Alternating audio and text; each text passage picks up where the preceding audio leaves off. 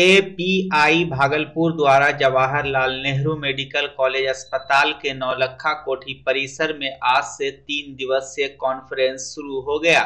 बापी कौन यानी Bihar association of physician of India एवं इजापी कौन यानी east zone association of physician of India conference में देश विदेश के कई दिग्गज डॉक्टर्स शामिल हुए।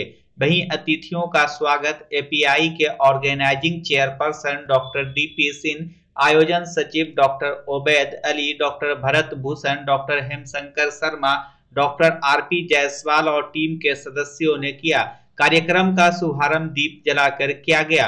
बता दें कि तीन दिवसीय सम्मेलन में Padmashri doctor Vijay Prakash Padmashri doctor Alka Deshpande समेत बिहार समेत पूर्वी जोन के नामी चिकित्सक मौजूद रहेंगे। मीडिया प्रभारी सैयद जिजा हुसैन ने बताया कि सम्मेलन के ज़रिए चिकित्सकों को हाइपरटेंशन, शुगर, हृदय रोग, किडनी एवं गैस्ट्रो संबंधित अन्य बीमारियों के निदान में आए बदलाव और चिकित्सा के नए शोध के बारे में दिग्गज डॉक्टरों के द्वारा जानने का अवसर मिलेगा। बिहार स्टेट एपिकॉन, यानी association of physicians India conference का, ये हम लोग का एनुअल कॉन्फ्रेंस है बिहार का तो तैंतीसवां कॉन्फ्रेंस है। इसके साथ हम लोग का ईस्ट जोन कॉन्फ्रेंस हो रहा है, जिसमें बिहार, बंगाल, उड़ीसा असम और सेवन सिस्टर्स स्टेट जो मणिपुर, इम्फाल, उधर वाले जितने स्टेट्स हैं, ये सब के लोग यहाँ आए हुए हैं। और आज हम लोगों का कॉन्फ्रेंस का उद्घाटन विधिवत तीन बजे हुआ। उद्घाटन करने वालों में हमारे प्राचार्य doctor Ashok Bhagat superintendent doctor Uday Narayan Singh doctor B B Thakur जो भीष्म पितामह माने जाते हैं ए बिहार के और नेशनल लीडर हैं हमारे। एक्स प्रेसिडेंट रहे हैं, नेशनल एक्स डीन रहे हैं। यहाँ लोकल में मैं साइंटिफिक चेयरमैन जो कि साइंटिफिक कार्यक्रम है, डॉक्टर हेमशंकर शर्मा और डॉक्टर डीपी सिंह, जो ऑर्गेनाइजिंग चेयरमैन हैं, डॉक्टर उबैद अली, जो ऑर्गेनाइजिंग सेक्रेटरी हैं। ये हम लोगों ने मिलकर सबने यहाँ पर इसका उद्घाटन आज किया सुबह और उद्घाटन के बाद से कार्यक्रम हम लोग का लगातार चला। जो पहला टॉक था, वो डॉक्टर पी एस कर्माकर, जो प्रोफेसर ऑफ़ मेडिसिन है, कलकत्ता मेडिकल कॉलेज के, उनका टॉक था इसमें था कि उम्र बढ़ने के साथ साथ शरीर की शारीरिक क्षमता और जो ताकत लड़ने की क्षमता होती है इम्यून जो लेवल है इम्यूनिटी जिसको बोलते हैं, वो कैसे घटती, बढ़ती है, कैसे उसको बढ़ाया जा सकता है, किस तरह से रेगुलर वॉक अच्छे खाने पीने से और एक्सरसाइज करके उसको हम लोग बढ़ा सकते हैं, इसके लिए बहुत ज़्यादा दवाओं की आवश्यकता नहीं है। उसके बाद का जो दूसरा टॉक था, वो डॉक्टर ज्योति प्रकाश का था, जो एम्स पटना के हेड हैं मेडिसिन के। उन्होंने क्रॉनिक किडनी डिज़ीज़ के बारे में बताया कि किस तरह से किडनी की बीमारी जो होती है आजकल एक वॉल्केनो की तरह, ज्वालामुखी की तरह बढ़ती जा रही है। क्योंकि जितने लोगों को भी डायबिटीज़ होता है, और शहरी क्षेत्रों में लगभग 11 से 13 परसेंट लोगों को हिंदुस्तान में डायबिटीज़ है, ग्रामीण क्षेत्रों में 7 से 8 परसेंट के आसपास। लोगों को डायबिटीज़ है। उसी तरह ब्लड प्रेशर जो है वो करीब 25 से 30 परसेंट लोगों के बीच में है। पूरे, जितने एडल्ट पॉपुलेशन है, पूरे वर्ल्ड के, उनको हम लोग कहते हैं कि इनको ब्लड प्रेशर है। इन दोनों का अंत जो होता है किडनी पर होता है। इसलिए आप समझ सकते हैं कि जब दोनों बीमारियाँ बढ़ते जाती हैं तो अंततः किडनी पर प्रभाव पड़ता है। और किडनी की बीमारी का सबसे मूल कारण जो हमारे तरफ़ है यहाँ, सबसे ज़्यादा प्रभावित होता है किडनी में जो दर्द की दवाओं का बेकार में सेवन करते हैं लोग बड़ी बड़ी दर्द की दवाएँ ये दिखाने के लिए कि दर्द मैं तुरंत ठीक कर सकता हूँ। उससे किडनी का सबसे ज़्यादा नुकसान होता है। आगे दो दिन हम लोग की विभिन्न बीमारियों पर व्याख्याएँ होंगी। जो जो काफ़ी गंभीर बीमारियाँ हैं, ब्लड प्रेशर है, हार्ट है, डायबिटीज़ है, इनसे संबंधित है, प्राइमरी फोकस। लेकिन हम लोग का जो मेन उद्देश्य है, वो है कि आर्ट ऑफ़ मेडिसिन, यानी जो मेडिसिन का सिर्फ़ विज्ञान ही नहीं कला भी जो है इसमें, इन दोनों का समावेश होना चाहिए। और कला में दो बात होती है। कला में एक तो मूल्य है जो इकोनॉमी होती है। इकोनॉमी को कम से कम हम उनको खर्च करना है। कम पैसे में अच्छा। दूसरा, उनके हृदय तक पहुँच कर बात करिए। मरीजों से जो आप जब भावनात्मक रिलेशन बनाते हैं, रिश्ते बनाते हैं तो मरीज़ों का आप पर जो बढ़ता है आपके ऊपर मरीजों का भरोसा बढ़ता है और इस सिर्फ़ भरोसे मात्र से 25 से 30 परसेंट पेशेंट ठीक हो जा सकते हैं। तो ये सब बातें बहुत ज़रूरी है जाननी। अगले दो दिन में ये सब परिचर्चाएँ हम लोग इसे चारों तरफ़ देखेंगे। प्रतिदिन मैं इस समय आपको सारे विषयों के बारे में बताऊँगा कि उस दिन कितने टॉक हुए। इसके अलावा अभी तक साठ स्नातकोत्तर छात्रों ने अपना शोध पत्र प्रस्तुत किया पोस्टर के माध्यम से और डायरेक्ट टॉक्स के माध्यम से। हम लोग अंतिम दिन यानी परसों इन और भी जो लोग प्रेजेंट करेंगे, लगभग एक डेढ़ सौ छात्र आए हुए हैं बाहर से, जो एमडी के विभिन्न second year third year MD के हैं। ये बिहार से हैं, बिहार के बाहर से भी आए हुए हैं। कुछ कलकत्ता के हैं, कुछ यूपी के हैं। तो ये सारे शोध पत्र के बाद जो हमारे गाइड्स उसको टेस्ट कर रहे हैं चेक कर रहे हैं, वो प्राइजेज हम लोग देंगे स्नातकोत्तर छात्रों को, ताकि इनका उत्साहवर्धन हो सके। बहुत बहुत धन्यवाद। तेलंगाना के नए मुख्यमंत्री रेवंत रेड्डी के द्वारा बिहार के डीएनए पर जो बयान आया है, उस पर राजनीतिक हलचल तेज हो गई है। मुख्यमंत्री रेवंत रेड्डी के बयान के विरोध में आज भागलपुर खलीफाबाग चौक पर बीजेपी के कार्यकर्ताओं ने तेलंगाना के मुख्यमंत्री का पुतला दहन किया। इस दौरान भाजपा नेता और कार्यकर्ताओं ने जमकर नारेबाजी की। मौके पर जिला अध्यक्ष संतोष कुमार, बंटी यादव समेत कई कार्यकर्ता मौजूद थे। तेलंगाना के मुख्यमंत्री श्रीमान रेवंत रेड्डी का पुतला दहन किया गया। उनके द्वारा उत्तर और दक्षिण भारत को बांटने की जो राजनीति की गई, उन्होंने बिहार के डीएनए को गलत कहा और कहा कि हमारा डीएनए अच्छा है बिहार से। और यहाँ जो है के सी राव जो हारे हैं उनसे, उनके लिए वो शब्द कहा और कहा कि वो कुर्मी समाज से आते हैं और मैग्रेट हैं, यहाँ आकर बसे हैं। मेरा कई पीढ़ियों से हम लोग तेलंगाना के हैं। इस प्रकार से उत्तर और दक्षिण में भारत को बांटने का, बिहार के डीएनए को गाली देने का काम उन्होंने किया है। तो बिहार के डीएनए को गाली देने वाले को बिहार की जनता कभी माफ़ नहीं करती। और जब शपथ ग्रहण के समय श्रीमान सोनिया गांधी राहुल गांधी और प्रियंका गांधी मंच पर विराजमान थे। उन्होंने कभी नहीं कहा कि आपको अपना बयान वापस लेना चाहिए। ये कांग्रेस की मानसिकता का गोतक है। हमेशा कांग्रेस पार्टी भारत को बांटना चाहती है। भाषा के नाम पर, संप्रदाय के नाम पर, पंथ के नाम पर, क्षेत्र के नाम पर बांट कर राजनीति करना चाहते हैं। कभी सेना में अल्पसंख्यक कितने हैं? गिनती करवाओ। कभी मन नहीं भरता है, अभी चुनाव चल रहा था। अशोक गहलोत ने कहा कि अमित शाह जो है, गुजरात बनाना चाहते हैं, गुजरातियों को यहाँ लाना चाहते हैं। क्या गुजरात का व्यक्ति भारत का नहीं है? कौन से गुजराती लोग थे? इसकी मानसिकता हमेशा बांट कर राजनीति करने का। और ये एनडी गठबंधन का जो चेहरा है, वो सामने है। किसी नेता ने कोई बयान नहीं दिया, कोई प्रतिक्रिया नहीं की है। आखिर इस बिहार को गाली देने का हक वहाँ तेलंगाना के मुख्यमंत्री को किसने दिया है? और जिन्होंने बिहार के डीएनए को, यहाँ के कुर्मी समाज को गाली दिया है तो मैं बता देना चाहता हूँ, यह कुर्मी समाज है। जब भारत कई रियासतों में बैठा हुआ भारत को लौ पुरुष जो है, सरदार वल्लभ भाई पटेल ने पाँच सौ छब्बीस, छप्पन रियासतों को एक कर अखंड भारत बनाने का जो काम भारत के अंदर किया। और जब दक्षिण से आदि गुरु शंकराचार्य निकले छप्पन ऐसे जो हमारे मत पंड के साधु संत थे, ज्ञानी थे, उनसे शस्त्रार्थ कर कर भारत को एक करने का काम किया और चार पुरी और आठ ऐसे अखाड़ाओं को बनाकर और ऐसी व्यवस्था बनाई कि दक्षिण का जो शंकराचार्य उत्तर का होगा, उत्तर वाला दक्षिण होगा, और पूरे भारत को कश्मीर से कन्याकुमारी तक, कच्छ से कामरूप तक, पूरे भारत को एक करने का काम किया है और बांटने की जो राजनीति कांग्रेस ने की है, उसको जवाब आने वाले समय में मिलेगा। बिहार में पूरे भारतवर्ष में आक्रोश। और एनडी गठबंधन इसी बांटवारे की राजनीति में सुहा हो जाएगी, उसको कोई रोकने वाला नहीं। भारतीय जनता पार्टी भागलपुर में सारे भारतीय जनता पार्टी के कार्यकर्ता अध्यक्ष जी के द्वारा के नेतृत्व में हम लोगों ने पुतला दहन किया। जो कांग्रेस के नेता जिस तरह का बिहार के लोगों के बारे में टिप्पणी दे रहे हैं, ये उनके मानसिक संतुलन के खोने का सबूत देता है। जिनके नेतृत्व ही पप्पू टाइप के हैं, राहुल गांधी जैसे व्यक्ति उस कांग्रेस की नेतृत्व कर रहे हैं, वो खुद बोलते क्या हैं और करते क्या हैं, कब क्या बोल देंगे? उनको जब संतुलन नहीं तो उनके नेता को भी कोई संतुलन और बात करने का, बोलने का, कोई भी चीज़ें का एक औचित्य नहीं है और उनको तो बिहार लाकर या बिहार, जहाँ भी बिहारी हम लोग हैं पूर्वी हैं, वो उनको कालिक पोतने का काम करेगी, उनके चेहरे पे आने वाले कुछ समय। भागलपुर नाथनगर थाना क्षेत्र अंतर्गत गुदड़ी बाज़ार में मॉर्निंग वॉक पर निकले जन वितरण प्रणाली के डीलर मोहम्मद सोहराब को स्थानीय बदमाश मोहम्मद चाँद ने गोली मार दी। गोली डीलर के गाल में लगी।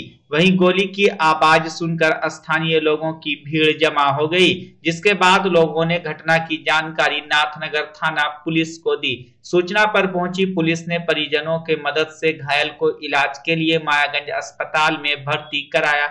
इधर पुलिस ने घटनास्थल से एक खोखा भी बरामद किया है। स्थानीय लोगों की माने तो इन दिनों बदमाश चाँद का गुदड़ी बाज़ार में आतंक बढ़ गया है। वह आए दिन दुकानदारों से रंगदारी वसूलने को लेकर गोलीबारी और मारपीट की घटना को अंजाम दे रहा है। वहीं घटना के बाद करीब एक दर्जन से ज़्यादा दुकानदारों ने दुकान बंद कर अभिलंब बदमाश की गिरफ्तारी को लेकर विरोध जताया, जबकि घायल जन वितरण प्रणाली के डीलर मोहम्मद सोहराब के परिजन मोहम्मद गुलाम मुस्तफ़ा ने बताया कि चाँद ने पचास हज़ार की रंगदारी मांगी थी जिसे नहीं देने पर उनके ऊपर जानलेवा हमला किया गया। घटना क्या है क्या हटिया में मेरे ससुर जी देख रेख करते हटिया का। तो हटिया में रंगदारी मांगने के क्रम में मेरे ससुर जी के पास दुकानदार समुदाय के लोग कुछ लोग आए कि भैया हमारे दुकान से वो रंगदारी मांगते हैं। उसी में डांटने के क्रम में कल डांट डांटा गया था। आज उनके साथ सुबह सुबह गोली चला दिया गया। मॉर्निंग वॉक करने के लिए जा रहे थे। गोली लग गया? हम्म, गोली लगा तो। ये तो देखे हैं। अच्छा तो इनसे भी रंगदारी मंगाया जी जी जी जी। ये क्या करते थे? कौन? सौराब जी क्या करते थे? जन वितरण का दुकान है इनका। अच्छा इनसे भी रंगदारी मांगी जी। कितने की रंगदारी मांगी? पाँच लाख का डिमांड था। बच्चा जब जन्म लेता है तो कई बार बच्चा तुरंत नहीं रोता है, रोने में देर हो जाता है। ऐसे में बच्चा क्षतिग्रस्त हो जाता है और उसके बचने की संभावना कम हो जाती है।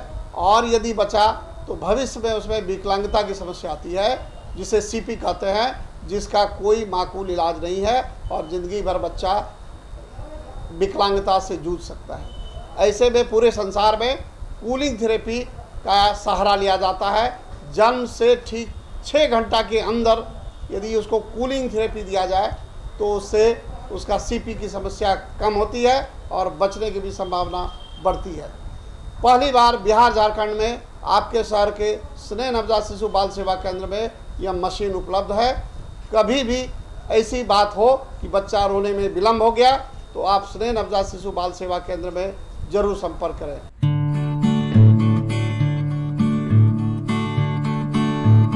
भागलपुर जिला विधिक सेवा प्राधिकार की ओर से 9 दिसंबर को राष्ट्रीय लोक अदालत लगाया जाएगा। इसको लेकर सभी तैयारी पूरी कर ली गई है। जिला विधिक सेवा प्राधिकार के अध्यक्ष, सह जिला एवं सत्र न्यायाधीश राजेश नारायण, सेवक सचिव, सह अवर न्यायाधीश उमेश प्रसाद, जिलाधिकारी सुब्रत कुमार सेन और एसएसपी आनंद कुमार ने ज़्यादा से ज़्यादा लोगों को राष्ट्रीय लोक अदालत में शामिल होने की अपील की है। वहीं आज प्रेस कॉन्फ्रेंस का जिला विधिक सेवा प्राधिकार के सचिव उमेश प्रसाद ने लोक अदालत में निष्पादित होने वाले विभिन्न केसों की जानकारी दी। उन्होंने बताया कि लोक अदालत में धन वसूली बाद श्रम विवाद, बिजली और पानी बिल के मामले, वैवाहिक विवाद और अन्य दीवानी बात का भी निष्पादन किया जाएगा। खास बात यह है कि इन केसों के निष्पादन में कोई शुल्क नहीं लगता। प्रेस कॉन्फ्रेंस में जानकारी दी गई कि भागलपुर में सत्रह बेंच, कहलगांव में दो बेंच और नौगछिया में छह बेंच पर केसों का निष्पादन किया जाएगा। साथ ही भागलपुर सिविल कोर्ट में इस बार पटना हाई कोर्ट के चीफ जस्टिस भी मौजूद रहेंगे। दिनांक 9 बारह 2023 को जो है, राष्ट्रीय लोक अदालत का गठन आयोजन किया जा रहा है। ये बड़े ही बृहद पैमाने पे आयोजन हो रहा है। और इसमें ढेर सारे जो क्रिमिनल कंपाउंड केसेस हैं, जो सीआरपीसी के के के हिसाब से जो है, जो पक्षकार आपस में मिल बैठ के समझौता कर सकते हैं, इन केसों का निस्तारण जो है, पक्षकार आके बिना किसी एडवोकेट की सहायता से, बिना कोर्ट फ़ीस दिए आके कर सकते हैं जो इस लोक अदालत की यही खूबसूरती है कि उनका सारा प्रोसीडिंग यहीं समाप्त हो जाएगा, इसके बाद उनको कहीं जाने की आवश्यकता नहीं है। इसके अतिरिक्त जो है कि मोटर व्हीकल एक्ट से एक के एक्सीडेंट से संबंधित जो केसेज हैं, वो भी आके इंश्योरेंस कंपनी के साथ मिल बैठ के यहाँ पे समझौता कर सकते हैं। इसके अतिरिक्त बिजली से संबंधित जो मामले हैं, ढेर सारे बिजली के जो केसेस पेंडिंग है, बिजली चोरी के मामले, वो भी यहाँ बिजली विभाग के लोग रहेंगे, यहाँ के कंपाउंड, जो कंपाउंडिंग मनी जो जो विधि के अनुसार है अकॉर्डिंग टू लॉ है, वो जमा करके यहाँ पे तत्काल उसका खत्म करा सकते हैं। इसके अतिरिक्त जो कुछ राजस्व से संबंधित मामले हैं, जो प्रशासन के सहयोग से अपना आपस में कंपाउंड करके और फिर जमा कर कर सकते हैं। जो रेलवे के मैटर्स हैं, वो भी यहाँ पे देखे देखे जाएँगे जो है। और इसमें 25 बेंच का गठन किया गया है, जिसमें 17 बेंच जो है कि व्यवहार न्यायालय भागलपुर में किया गया है और छः बेंच का गठन नौगछिया में किया गया है और साथ में दो बेंच का गठन कहलगांव में किया गया है जो है। तो बैंक के भी बृहद स्तर पे यहाँ पे जो मामले हैं, बैंक वाले बैंक के जो ऋण से संबंधित जो मामले हैं, यहाँ पे आके वो लोग समझौता कर सकते हैं, बैंक और पक्षकार मिलके। उसकी खूबसूरती ये है कि यदि वो उनका कहीं सर्टिफिकेट केस अगर पेंडिंग में पड़ा हुआ हो तो वो सर्टिफिकेट केस का जो कोर्ट फ़ीस होता है, वो कोर्ट उस कोर्ट फ़ीस से मुक्त हो जाएँगे जो है। तो उनको दो फ़ायदा है। एक तो जो समझौता के हिसाब से उनके अमाउंट कम हो जाएँगे और दूसरा उनको कोर्ट फ़ीस देने से भी बच जाएँगे जो है। और तीसरा है कि मामले को, मामले का पूरी तरीके से यहाँ से पाया जाएगा। तो इस तरीके से जो इस बृहद लोक आय लोक अदालत का गठन किया जा रहा है मेरी अपील है लोगों से रिक्वेस्ट है कि बृहद मात्रा में आके लोग अपना इस अवसर का लाभ उठाएँ। और इसके साथ साथ बिहार के इतिहास में ये पहली बार ही हो रहा है कि इस लोक अदालत में जो है ऑनरेबल चीफ जस्टिस हमारे पटना हाईकोर्ट के वो भी आ रहे हैं, जो इस legal service authority, Bihar legal service authority के पैटर्न इन चीफ हैं। इसके साथ साथ इसके चेयरमैन साहब हैं, जो ऑनरेबल चक्रधारी शरण सर हैं, वो भी इसमें आके शिरकत करेंगे। आगामी लोकसभा चुनाव के पूर्व आम मतदाताओं को ईवीएम और वीवी पैट की जानकारी देने के लिए भागलपुर अनुमंडल परिसर स्थित प्रेस क्लब में आज मॉडल मतदान केंद्र खोला गया। केंद्र का उद्घाटन डीडीसी कुमार अनुराग ने फीता काट कर किया। बताया गया कि मॉडल मतदान केंद्र कार्यालय अवधि में प्रतिदिन सुबह साढ़े दस बजे से शाम पाँच बजे तक चालू रहेगा। यहाँ कोई भी आम मतदाता आकर न केवल ईवीएम, वीवीपैट के माध्यम से मतदान कर वोटिंग प्रक्रिया को प्रत्यक्ष रूप से समझ सकते हैं, बल्कि इसके तकनीकी पहलुओं से भी अवगत हो सकते हैं। मौके पर निर्वाचन पदाधिकारी ने जानकारी दी कि वीवीपैट एक प्रिंटर मशीन है, जिसे ईवीएम के साथ जोड़ा गया है। Okay इसके माध्यम से मतदाता अब यह सुनिश्चित कर सकते हैं कि उनके द्वारा दिया गया मत उसी उम्मीदवार को गया है जिसके पक्ष में उन्होंने मतदान किया है। डीडीसी ने कहा कि मत देने के बाद मतदाता को वीवीपैट में सात सेकंड के लिए एक पर्ची दिखाई देगी। जैसे आपके आज ईवीएम डेमोन्स्ट्रेशन यूनिट लगा हुआ है यहाँ पे आयोग के निर्देशानुसार। इसमें इसके थ्रू लोगों को जानकारी दी जाएगी कि ईवीएम कैसे फ़ंक्शन करता है। यहाँ लोग आकर के एक यूनिट भी लगा हुआ है यहाँ पे। जिसमें लोग खुद अपने पर्सनल एक्सपीरियंस के साथ फ़र्स्ट हैंड एक्सपीरियंस ईवीएम का ले सकते हैं। बहुत लोगों को जानकारी के अभाव में कि कैसे इसको संचालित किया जाता है, नहीं पता रहता। तो ये एक माध्यम है जागरूकता बढ़ाने के लिए कि एक ईवीएम में आपके कंट्रोल यूनिट होते हैं बैलेट यूनिट होता है वी होता है तो लोग यहाँ उसको देख भी सकते हैं और किस तरह से मतदान की जाए, उसका फ़र्स्ट हैंड एक्सपीरियंस ले सकते हैं। तेलंगाना के नए मुख्यमंत्री रेवंत रेड्डी के द्वारा बिहार के डीएनए पर जो बयान आया है, उस पर राजनीति गर्म आ गई है। भागलपुर में कांग्रेस के प्रदेश उपाध्यक्ष परवीन सिंह कुशवाहा ने कहा कि इस बयान को तोड़ मरोड़ कर पेश किया जा रहा है। उन्होंने कहा कि भाजपा के नेताओं का अब बस एक ही काम बचा है किसी तरह भी दूसरे राज्य के मुख्यमंत्री और नेता का बयान तोड़ मरोड़ कर पेश करना। बिहार का डीएनए खराब है, ये किसने कहा? बिहारी शब्द को जो गाली मानते हैं। बिहारी होना अपने आप में गौरव की बात है हम लोग के लिए। बिहारी शब्द को जो गाली बता रहे हैं, जो गाली बता रहे हैं, वो बिहार का अपमान कर रहे हैं। बात दरअसल ये है। इस बात को समझने की कोशिश कीजिए। ये मीडिया ही तो है, जो सब कुछ बताती है और सब कुछ दिखाती है। आप इसको छान के देखिए, सब सच सामने आ जाएगा। गिरिराज सिंह क्या करने वाले लोग हैं? और कैसे लोग हैं? इस पार्टी के लोग कैसे हैं? और किस तरह से शब्दों को तोड़ मरोड़ कर समाज में वैमनस्ता फैलाते हैं? जब महाराष्ट्र में बिहारियों को खदेड़ा जा रहा था, उस समय इनकी ज़ुबान क्यों तालाबंदी लगी हुई थी? उस समय इनकी ज़ुबान पर क्यों नहीं जू रेंग रहा था? सोचने वाली बात है, बिहारी होना अपने आप में गौरव की बात है। तो क्या हम अपने आप को दिल्ली से बेहतर नहीं बता सकते हैं? तो इसका मतलब ये थोड़ी हुआ कि दिल्ली हमारे सामने तुच्छ है, ख़राब है। दिल्ली हमसे ख़राब है। हम दिल्ली वाले से बेहतर हैं, हम महाराष्ट्र वाले से बेहतर हैं। हम सबसे मिल के चलते हैं, हर जगह हमारा परचम लहराता है। हमारे राज्य से सब जगह कमाने वाले, खाने वाले जाते हैं। हमारे साथियों के, हमारे बिहारियों के कंधे पर जो है महाराष्ट्र का सारा जो स्मॉल इंडस्ट्री है, वो चलता है। आप जितना खोमचा वाले, दूध वाले जितने लोगों को देखेंगे, वो आपको वहाँ मिलेंगे। तो फिर उनकी दिनचर्या चलती है बिहारियों के भरोसे। तो वो, हम बिहारी महाराष्ट्र से बेहतर हैं तो हम महाराष्ट्र को ख़राब थोड़ा ही कह दिए। अरे, हम अपने आप को बेहतर कह रहे हैं। इसको जो अपमान, उन्हीं को लग रहा है, जो बिहारी शब्द को अपमानजनक मानते हैं। वैसे लोग जो किसी के इशारे पर के कठपुतली बने हुए हैं, जो समाज में वैमनस्ता फैलाना चाहते हैं, वो बिहारी शब्द को अपमान मानते हैं और बिहारी होना गौरव की बात नहीं समझते हैं।